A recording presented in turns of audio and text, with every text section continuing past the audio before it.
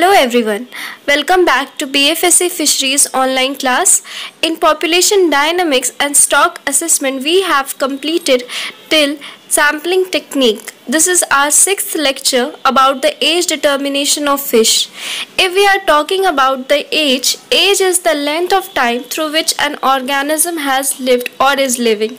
Means the stages which it is crossed in its lifetime is said to be as age and if we are talking about the growth growth is not nothing but the characteristics feature of, of a living being. So growth will determine the size of an organism over a period of time which means how much the uh, growth of individual has happened. So to know the dynamics of a population of any target species, the fisheries scientists rely on the fish population model fish mo model like fish population model are to understand the dynamics and stock health for arriving at appropriate decision. So to know the dynamics of stock management age growth and mortality these are the three major population characteristics controlling the productivity of fish population so to know the productivity of fish population, age, growth and mortality is important to know.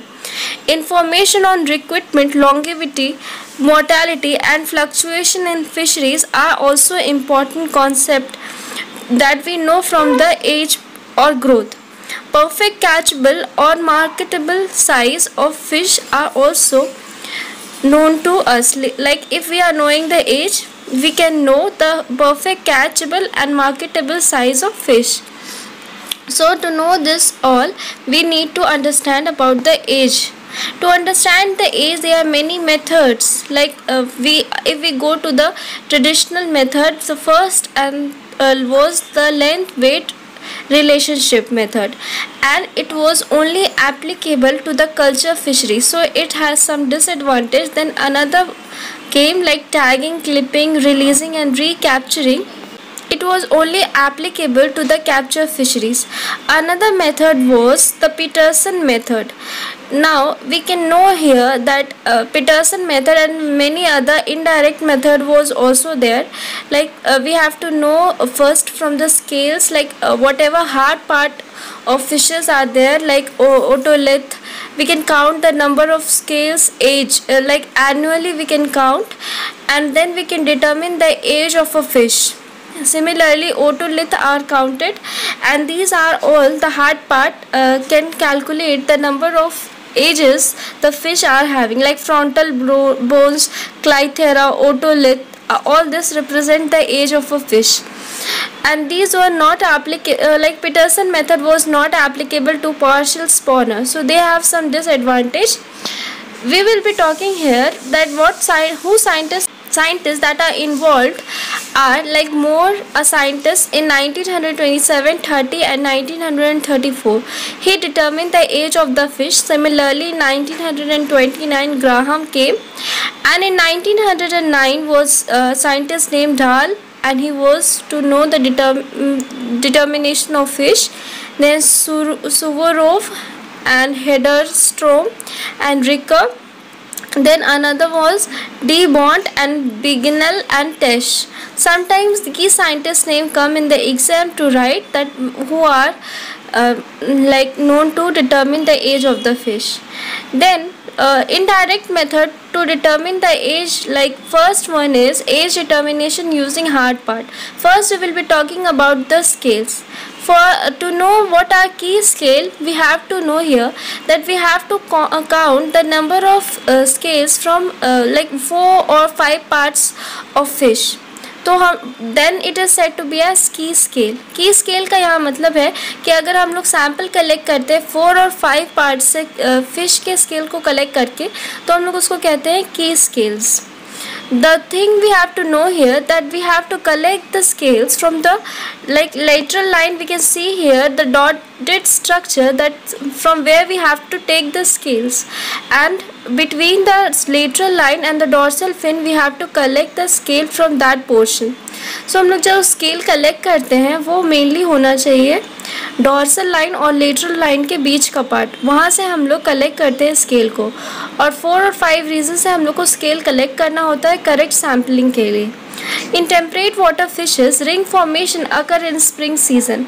यहाँ पे बात कही जा रही है कि अगर हम लोग टेम्परेट वाटर फिशेज को देखें तो वहाँ ring formation mainly spring season में होता है, क्योंकि विंटर सीज़न के बाद सेसेशन होने लगता है। इसके लिए बाद में स्प्रिंग सीज़न में ग्रोथ होता है और इस कारण टेम्परेट वाटर फिशेज में रिंग फॉर्मेशन होगा और वो फास्ट होता है। लेकिन अगर ट्रॉपिक्स की बात करें, जो ट्रॉपिक वाटर फिशेज होते हैं तो tropic water fishes so like they have fluctuation between the spring season and the winter season. So uh, there may be fluctuation and the uh, ring formation cannot be seen much more clearly in tropics water fishes so there are some variations in tropic and temperate water fishes then we have to know the scale type like ctenoid scale and the cycloid scale are mainly seen in the bony fishes to calculate the age. The ctenoid scales are differ from the cycloid scale in having tinea.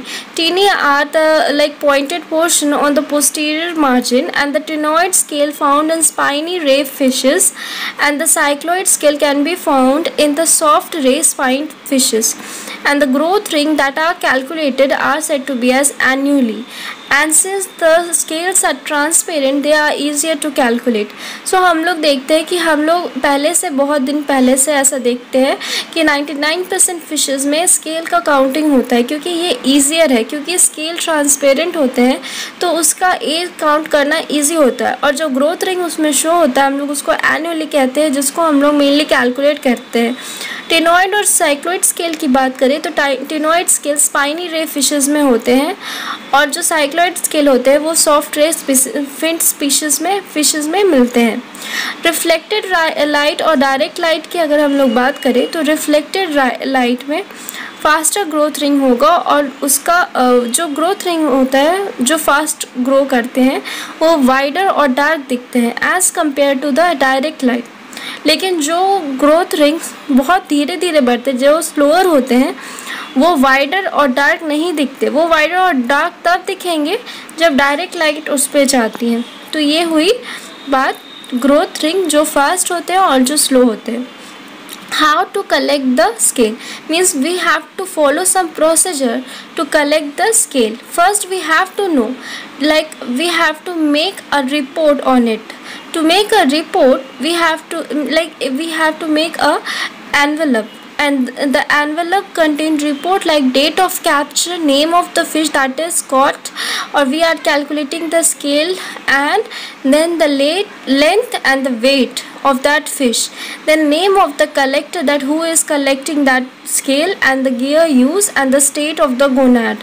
So we have to know about all this before determining any scale.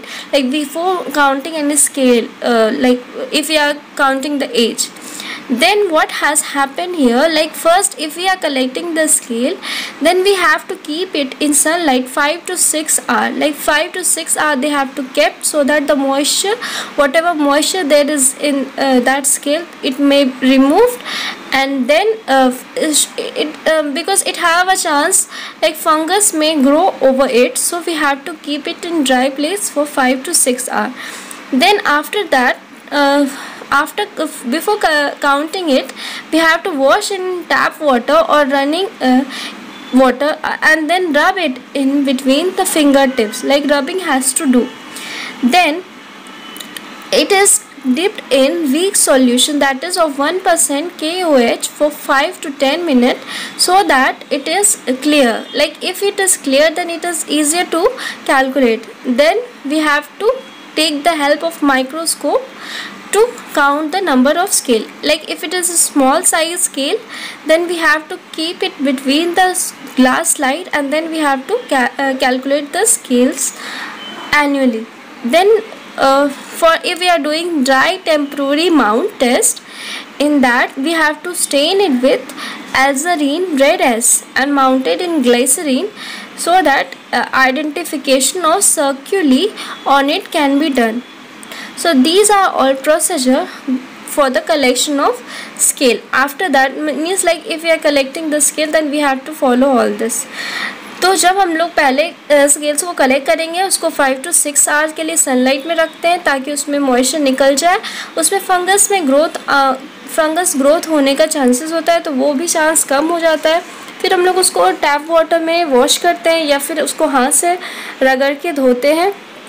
उसको week solution यानी कि one percent के में डालते हैं five to ten minute के लिए ताकि वो क्लियर हो जाए। क्लियर होने के कारण वो हम लोग को साफ़ साफ़ दिख सकता है। माइक्रोस्कोप में हम लोग रखते हैं, उसको दो स्लाइड्स के बीच में उसको रखा जाता है। स्टेनिंग करते हैं ड्राई टेम्प्रोरी माउंट में। ये टेस्ट है, जिसमें एल्जरीन रेडस या माउंटेड करते हैं ग्लिसरीन में, ताकि उसका जो सर्क्यूली है वो क्लियरली आइडेंटिफाई हो जाए। अगर हम लोग लार्ज स्केल ले रहे हैं तब। लार्ज स्केल जो होते हैं, वो माइक्रो फ़िल्म में देखे जाते हैं मेनली उसको हम लोग कहते हैं डॉक्यूमेटर तो डॉक्यूमेटर एक जैसे माइक्रोस्कोप होता है, उसी तरह डॉक्यूमेटर भी है, जिसमें हम लोग लार्ज साइज़ स्केल्स को देखते हैं। Then large scale radius and distance between the focus and the annuli are measure so what we have to measure here is large scale radius and distance between the focus and the annuli so so, यहाँ पे हम लोग को main चीज़ ये देखना है कि growth variation भी होते हैं बहुत सारे फिशेस में। लाइक like, पहले हम लोग ये देखते हैं कि ग्रोथ फास्ट होता है जब वो ओ, मतलब ग्रोथ फॉर्मेशन कर मतलब जब मेन एज उसका होता है फ़िश का, तब मतलब स्टार्टिंग एज में वो जल्दी जल्दी ग्रो करते हैं।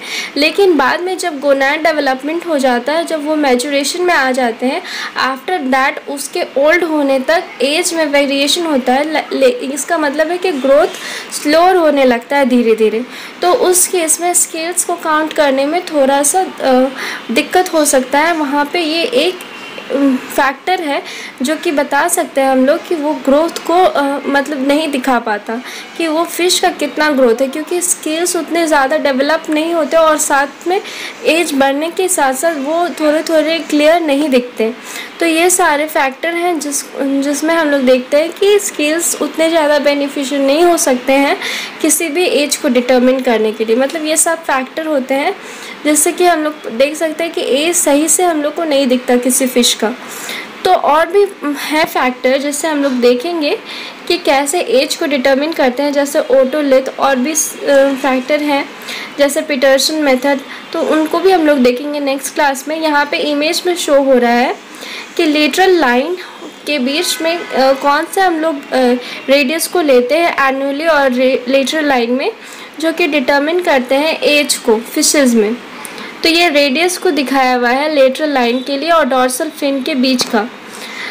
तो आज के लिए इतना ही था। Thanks for watching and if you like this channel then please to like and subscribe ये जो ऊपर वाला इमेज शो कर रहा है, वो है सॉफ्ट रे फिंड और जो स्केल्स का हम लोग देखते हैं डिफरेंस जो साइक्लोइड स्केल और टोनोइड स्केल है किसी किसी में पेक्टोरल फिन में भी स्केल्स को हम लोग लेते हैं सॉफ्ट रे फिन में। फिंट फिशेस जो होते हैं, उसमें सॉफ्ट रे फिन फिशेस में और कुछ में, हम लोग लेते हैं डॉर्सल फिन और लेटरल लाइन के बीच के स्किल्स को। तो ये सारे इमेज वो शो कर रहे हैं। तो आज के लिए इतना ही था। Thanks for watching and if you like this channel then please do like and subscribe